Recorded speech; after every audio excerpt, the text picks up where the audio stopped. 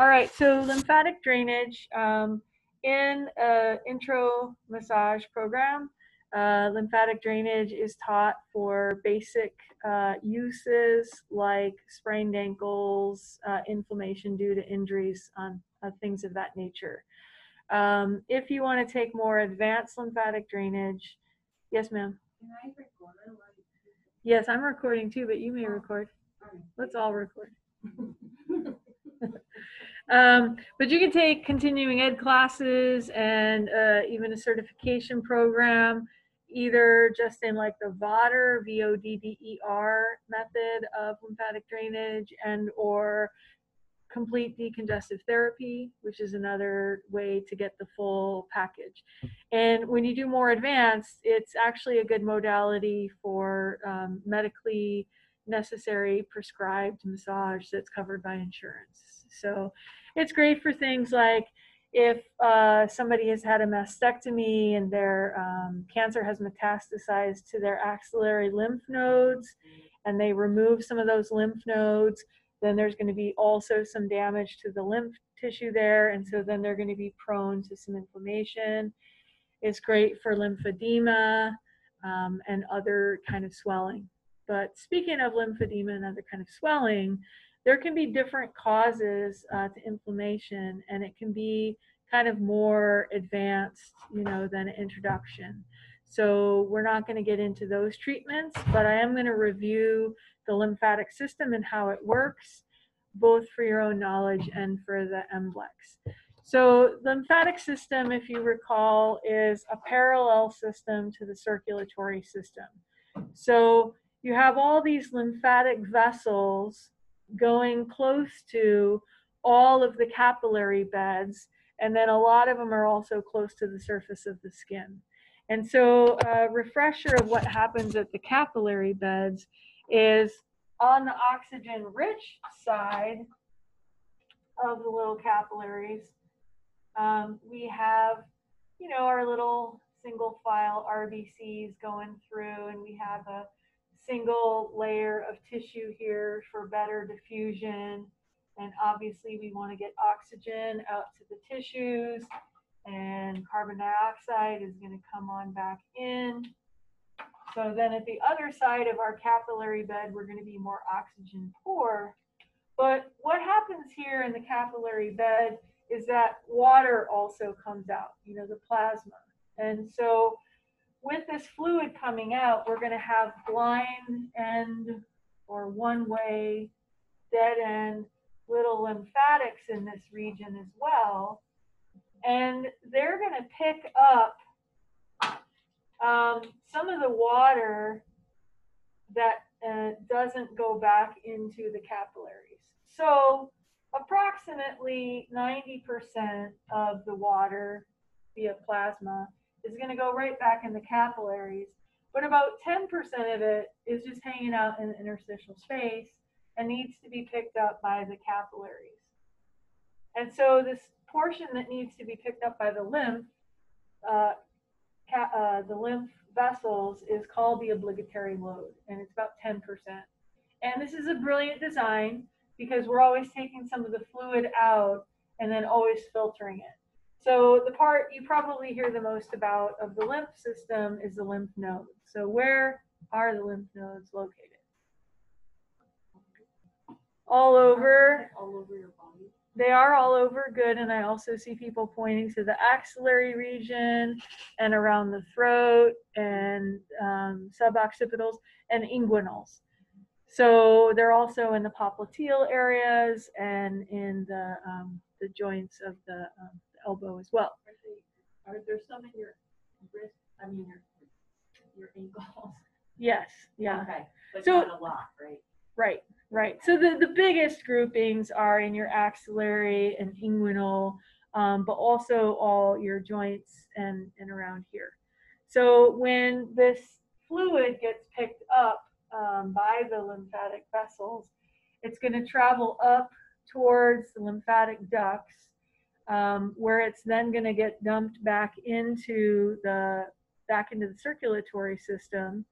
Um, And along the way, it's going to go through those lymph nodes. So, what are the lymph nodes doing? What are they? Yes.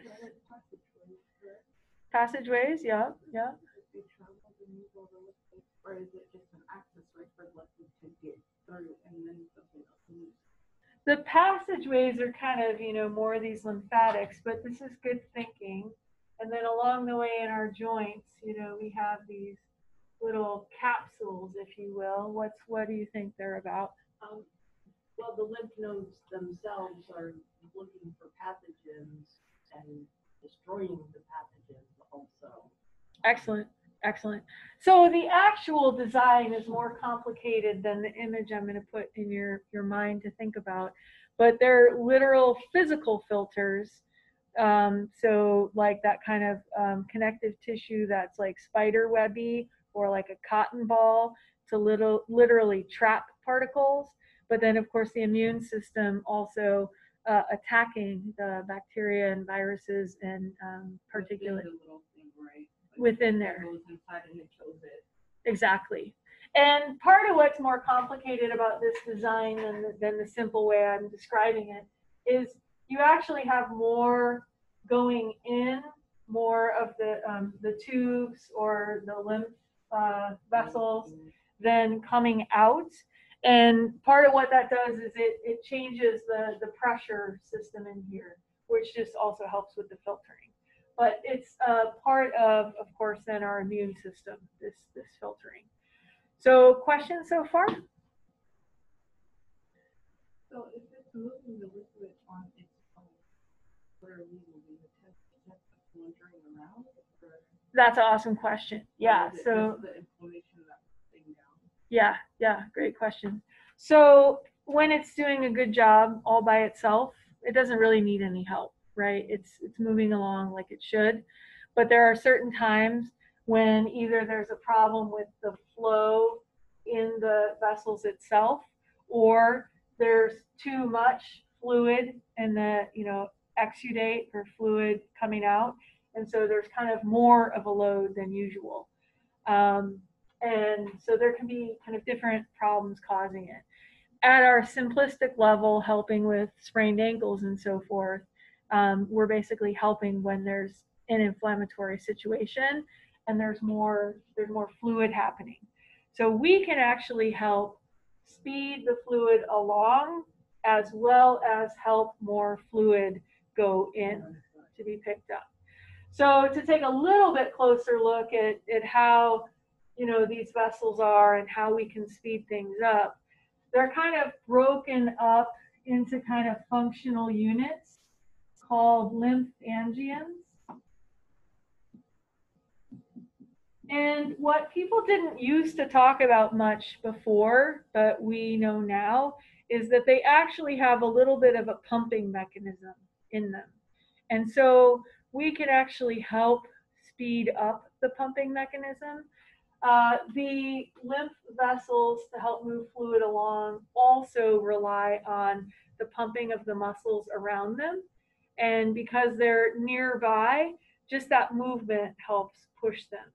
So to understand that, because they don't have like the pumping of the heart like the arteries do, and we're often going against gravity, right? Like picture you've got this lymph fluid down in your toes that has to get all the way up to here. Was that the main source that they make it back to?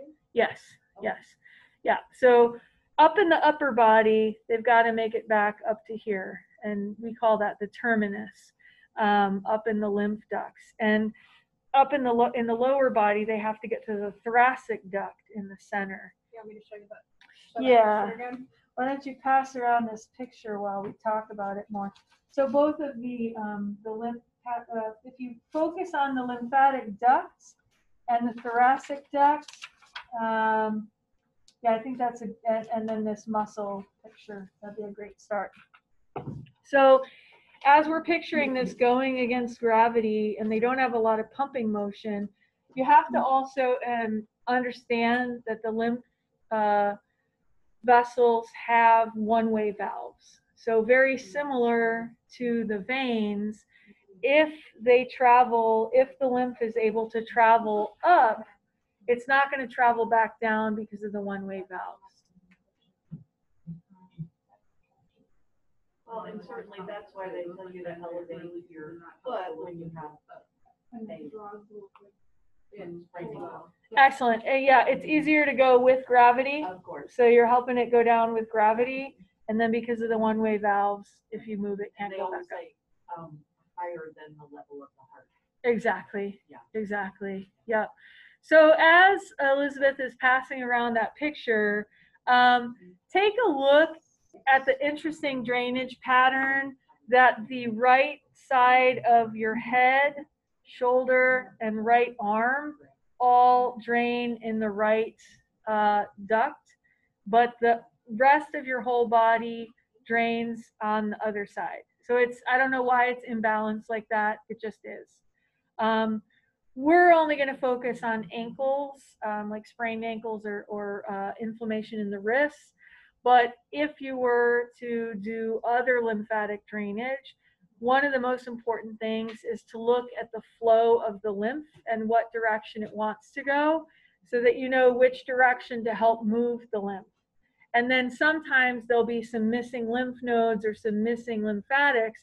And then you need to know what the anastomoses are, which is just like a detour. So, like, what's the other way that you can help move the lymph if the primary route is, is, is blocked? Questions so far?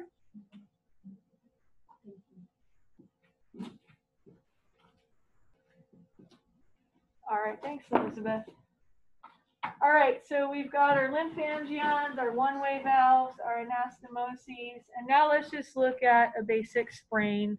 So inflammation um, is there's there can be different causes for it, um, and so we want to talk about like the basic kind of sprained ankle situation, and it's actually more complicated than this. But the basic I, kind of idea is that your body is creating this inflammation to sort of wall off a certain area of the body where there's an injury so that if there was a break in the skin, you could wall off the area where bacteria would come in.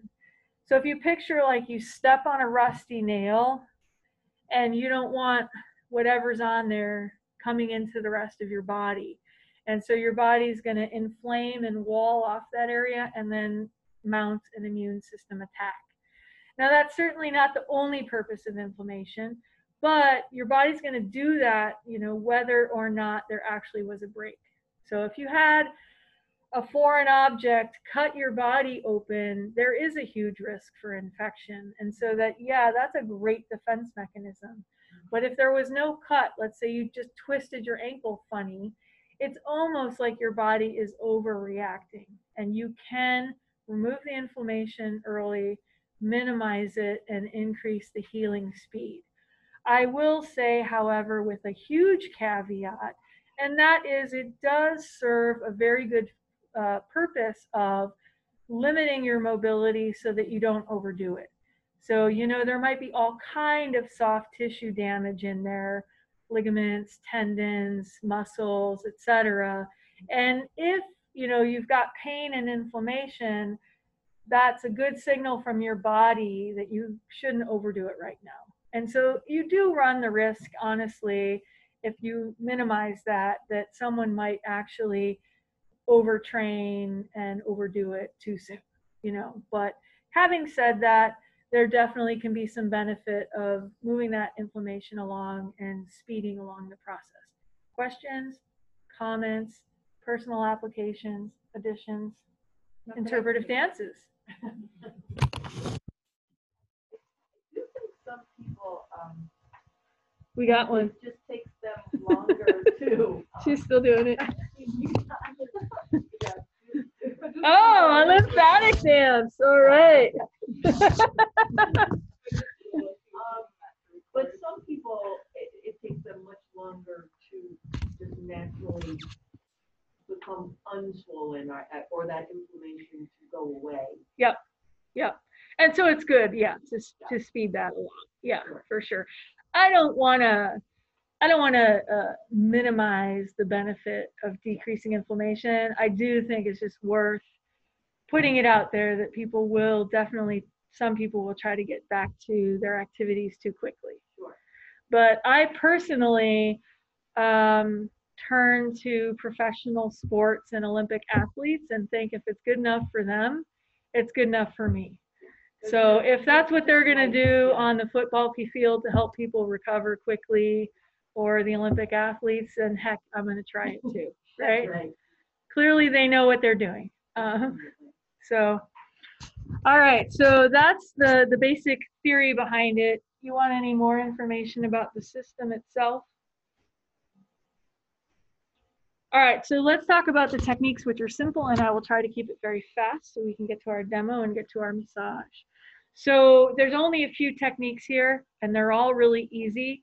Um, but again, it's the understanding of sequence and when to do it, when not to do it, um, that we're not going to rush into like doing lymphatic drainage for more complicated situations.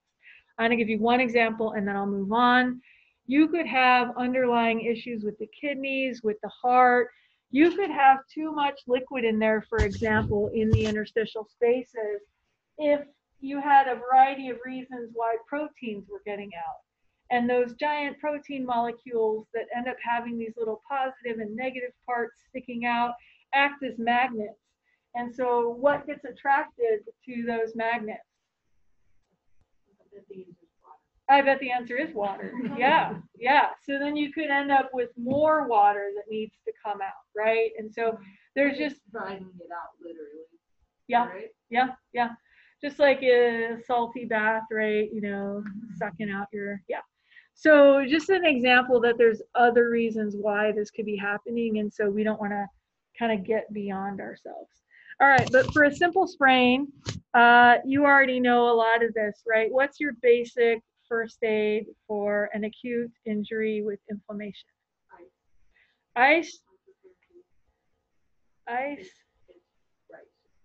rest, ice, compress. E, you said it earlier. You said something. to- Elevation. Elevation, right? So the traditional um, initials for that that people use often is rice, rest, ice, compress, and elevate. Sometimes people add a P to that for price. Any guess what the P stands for? I'm sorry, what? Good guess. Protect. Yeah. Yeah.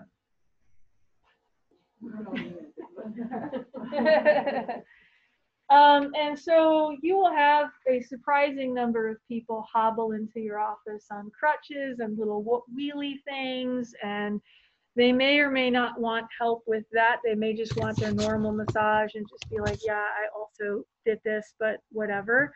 But a lot of times, of course, when they're on crutches or whatever um, compensatory thing they're having to do, you can also pay attention to okay, now their neck and shoulders are all jacked up from the crutches and, and that sort of thing. Um, but uh, we are going to apply, if they have a sprained ankle, we can at least elevate it, as Jill mentioned, above the heart.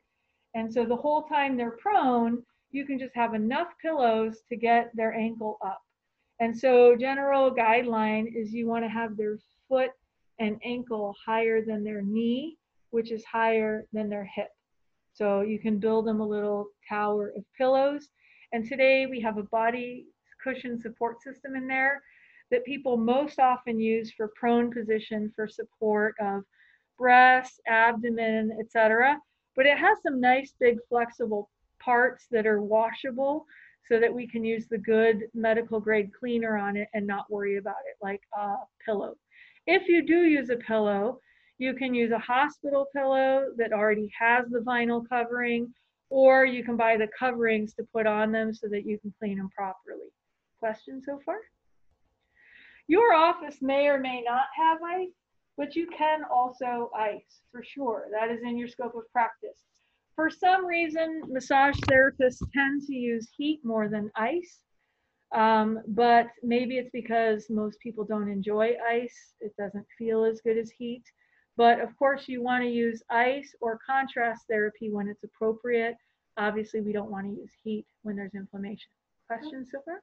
That's interesting because when I went camping, I don't know how like I made my scarf, but like this whole side of my body was hurting, and I went and sat in like the river ice cold water. Ooh, I out, nice. I felt so much better. Oh, that sounds so good. Mm-hmm. I Yeah. had to be patient though. I was freezing, but after a while, I was like, okay, I could sit in this now. That's awesome. I love it. I love it. That reminds me.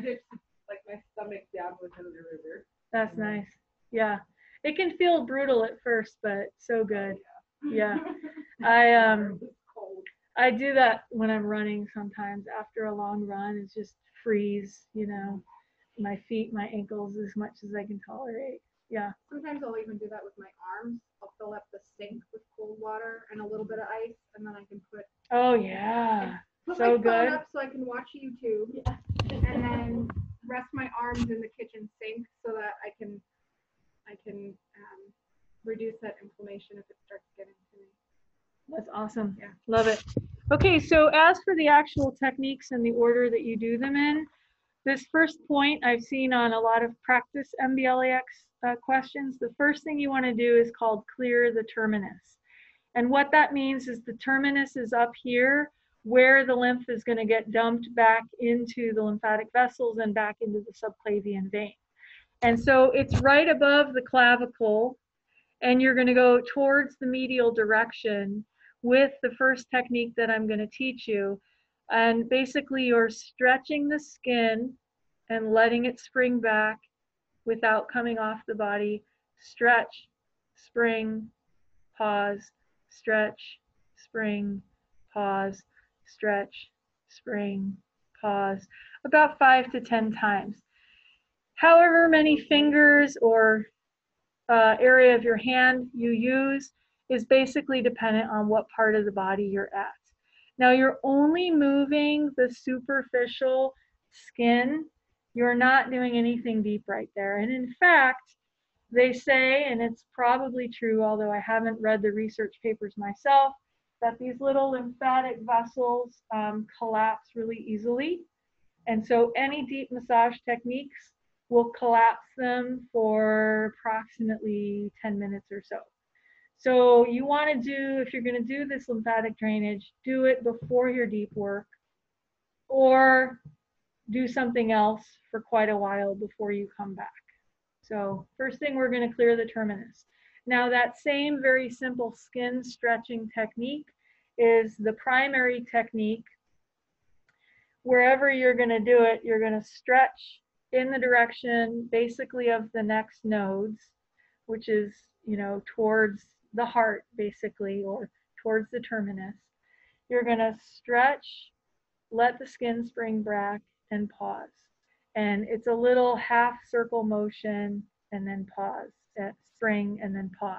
I'll draw a little picture of it. So you're stretching, um, you're stretching up, you're letting it spring back, and then you're pausing. So again, depending on what part of the body you're on, you may use like a whole hand gently, or you may use a few fingers, and you're going to repeat that about five to seven times. Now the order here is really important. We want to clear the area closer to the next lymph nodes proximally before we clear distally. But we're going towards the heart. So we're going towards the terminus, but we're clearing proximally before we clear distally. And if there's an inflammation, we never work on it or distal to it. So pretend this is my ankle. We are only working proximal to the swelling, not locally or not distally. Questions, comments? Because your ducts are located here, are you always working upward in that manner, no matter what part of the body you're working on? Anywhere from here down, yes. So you're always working from pretty much like top to bottom, but like you're not starting all the way from the bottom. It's like here to here, there to there. Exactly. You're always working backwards. There's no Exactly. ever working down. Well, just if you're actually clearing, you know, the neck or the face, you're going to go to these uh, vessels. So they're the only one just because it's above the duct. exactly, exactly. Otherwise, you're going up. You're still going to clear them first. Yep. Both or, or just, Both. Yeah, just clear them both. And most chapters, uh, including our anatomy book, have a really good map. If you're going to do any kind of lymphatic drainage, I can't believe this one does not have a good map. Our anatomy book does. Um, I'll copy that for the next class. What you need is a good map that just shows you the arrows because while it's generally just up, there are a few places where you're actually going backwards um, to the next spot. Or occasionally when you need the anastomoses and you need to divert in a different direction. So practice that on yourself. And probably the trickiest part is to go so lightly that all you're doing is moving the skin. And then you don't want to come off, you're just letting it spring back. And then you pause and you're going gentle enough that you don't squish the little lymphatics. Now, I think one of our books says something about only use the pressure you would use to move a dime. I, I- I just remember reading that, maybe it is in anatomy book or something, if that Mhm. makes sense. mhm. It's it's enough pressure to just move the skin. Yeah, yeah. So practice, you know, on yourself in different places. Like, how do you just move the skin? Yeah. And then the next lymphatic technique is even more gentle. It's a light effleurage, which is called feathering. And you're just super light stroking again towards the nodes. And again, we're not going to go local or distal to the swelling. So you you read about this as as doing this till you feel a texture change, and I've read about that texture change called silky, and Elizabeth feels it as a sort of a waxy. Yeah. Okay. Yep. So you go for that change, and if you don't feel that change, you just do it a while. Two more techniques. Uh, one of them is with all of those lymph nodes at joints. You want to pump the joints. It doesn't really honestly matter whether that's active, passive, or active assisted. So if you support the client and you move the joint for them, that's called uh, passive. If they move the joint themselves, that's called active. And if you assist them, you can have an active assisted. Now, all of the joints have some lymph nodes, so think about just the pumping motions at the different joints. If we're talking about our ankle swelling, while not hurting the injured ankle, of course, we want to do some flexion here because of the um, inguinal nodes. Yeah, inguinal nodes. So we're flexing them. You can even get some crossing there, just really pump, release, pump, release. Same with the knee, pumping and releasing. If they have inflammation at the ankle, we are obviously not doing range of motion there. But.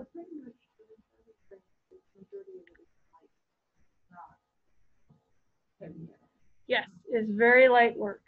And Elizabeth was sharing a good treatment recommendation.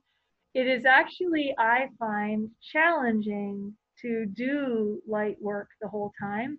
And so you want to really get comfortable, like sit down, get in a good position where it's easy for you to do that. I think sitting down would make it easier just because you're not powering over the first where you can sideways pressure. Yeah. You can also like rest your elbows on the table and then just, you can even use your whole body if it's starting to feel Line like with the- taxing. You can just do those little motions while, you know, trying to rest your arms as much as you can. Because you're gonna be there for a little while. Because it's a, it's a slow and light technique, so gotta get comfortable as much as possible. Otherwise, you're just gonna be holding your arms up. Yeah, and we've talked about the main application of sprains. I'm going to pause. And so our last technique, using the cisterna Nikali. Cisterna chyli. Okay. Uh, I'll, I'll put the spelling on the board. C H Y L I, two I's, one I. I think it's just one eye. All right. And I think it might be CIS. Oh, C I S. Pardon me. Thank you for looking it up. Yep. So- Thank you. C I S.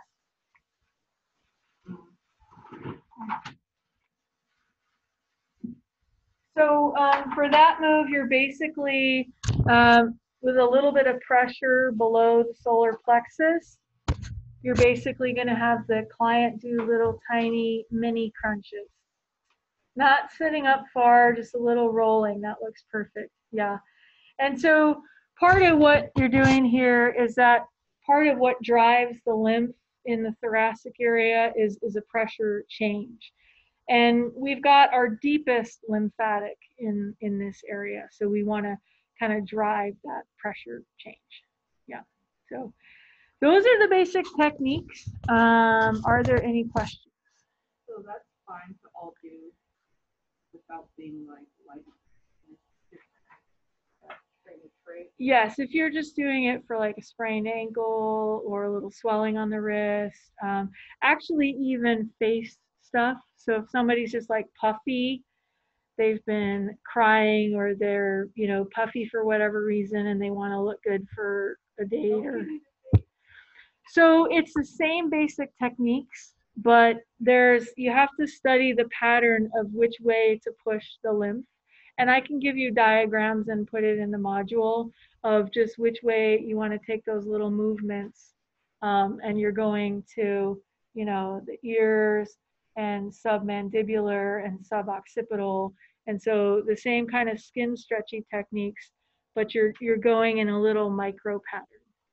And it is often taught, and this is how I usually teach it. If you practice one side, you can look and your client can look at the difference because it's pretty cool and then fix them and do the other side.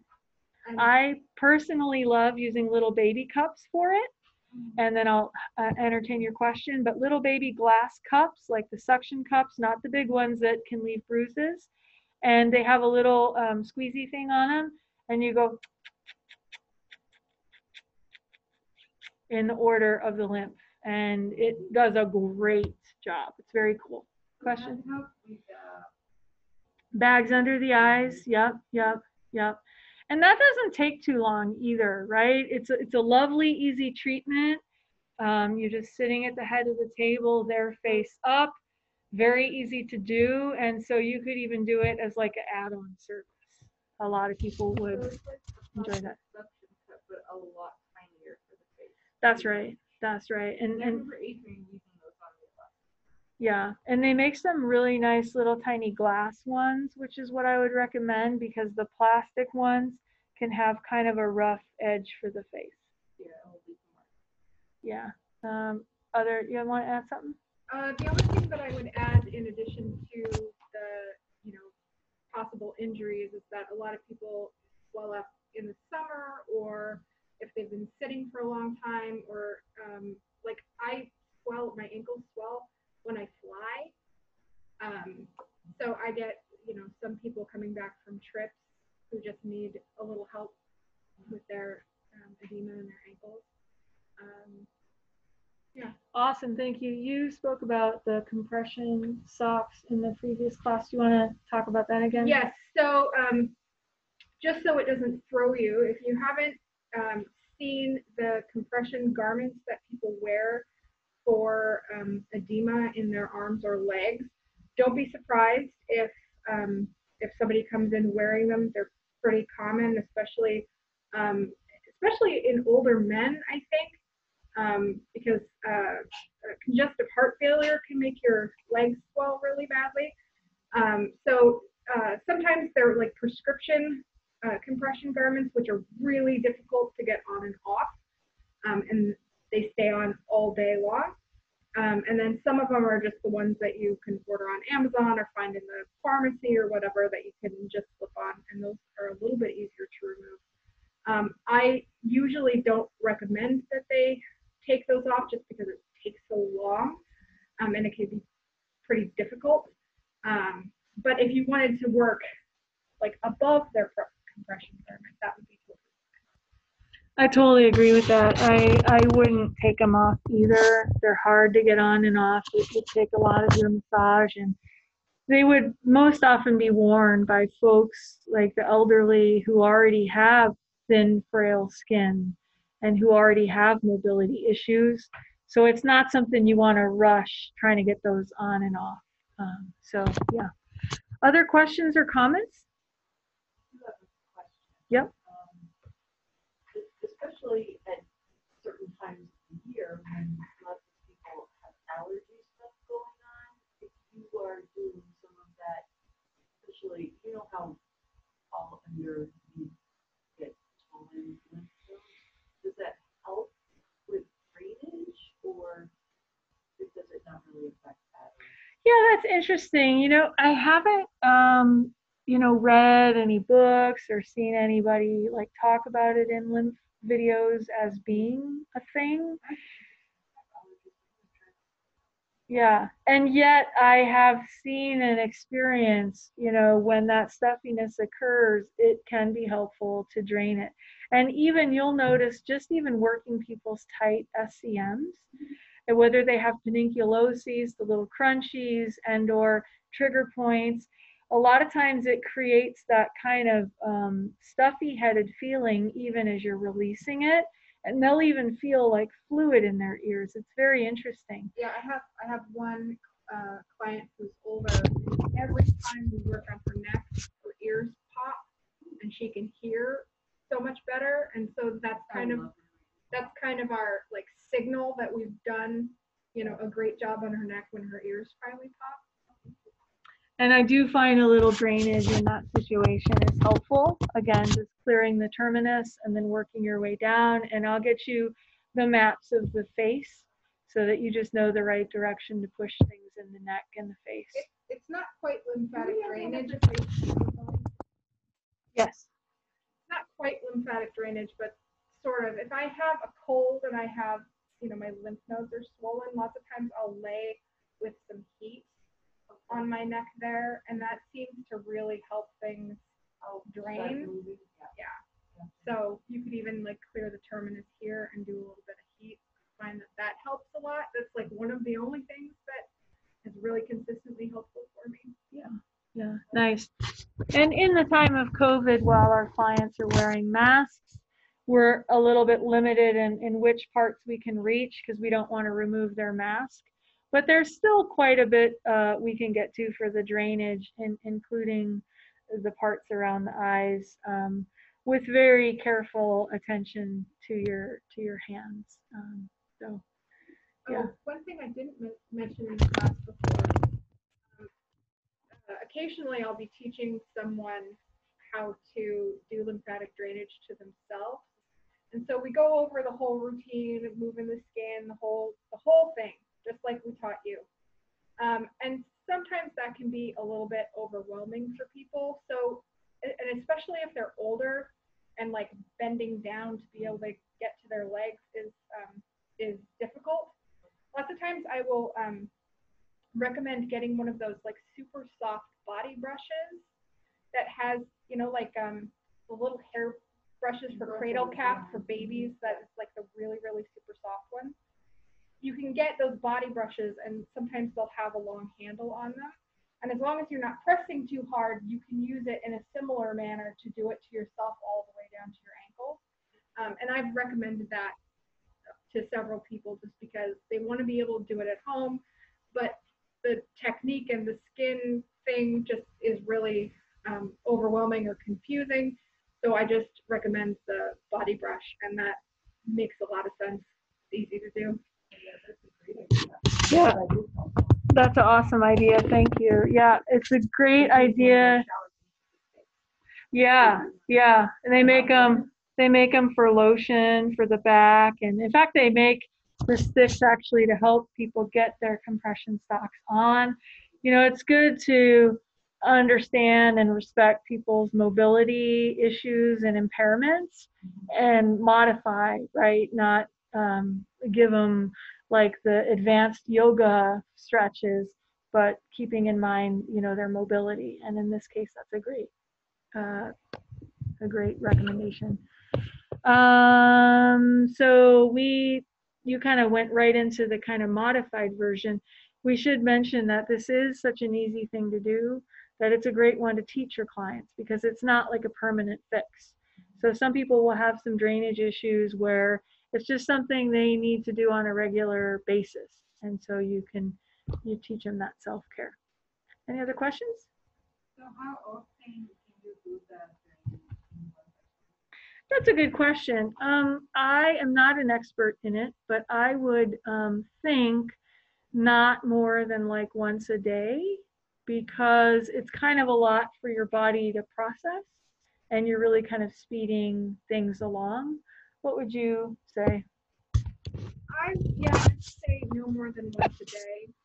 Um, and also, I brought this up to the other classes that, um, especially if you're moving a lot of fluid, if they have, you know, if their ankles are really swollen or it's like, I would say moderate to severe, they will probably have to pee really bad by the time that you're done. So I always like warn people ahead of time that it might make them have to pee and that if we have to like pause halfway through for them to run to the bathroom, that's totally normal and expected.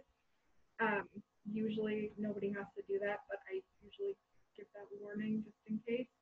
Um, but yeah, I wouldn't do it more than once a day. I I feel like that would be that you'd start to feel a little bit crummy, kind of like when you get too many massages, um, and you get that like hangover feeling. No. I have a question about this swelling. So Mhm. I understand moving the liquid in the body upwards, but you're not supposed to work anything beneath what's actually swollen. How are you moving the swelling? Is that supposed to move on its own when you free up the space in the body, or? Yeah, that kind of helps. Uh, it gives it somewhere to go, and you're creating like a, a pulling motion by all of this moving better. So, and and you know, if the swelling's here, you can be right above it, Right. right proximal to it. So that's still helping this clear up. Yeah. But if they have just edema from just regular ankle swelling, like they work at the, the the grocery store and they're on their feet all the time, and you can get that swelling in As your long lower as leg. it's not an injury, it's fine. If it's not an injury, you can go all the way down to their toes and, and bring it up that way. But if there's an injury, if it's protecting something, then you don't want to go. Yeah, but again, it could have different underlying issues. So it's a good thing to make sure they understand with their doctor, you know, case there's something going on with kidneys, heart, etc. Yeah. Um, anything else? I think that about covers it. Um, I just recommend that you practice some because even though it's an easy technique, it just takes a little uh, practice. Um, and yeah, that's it.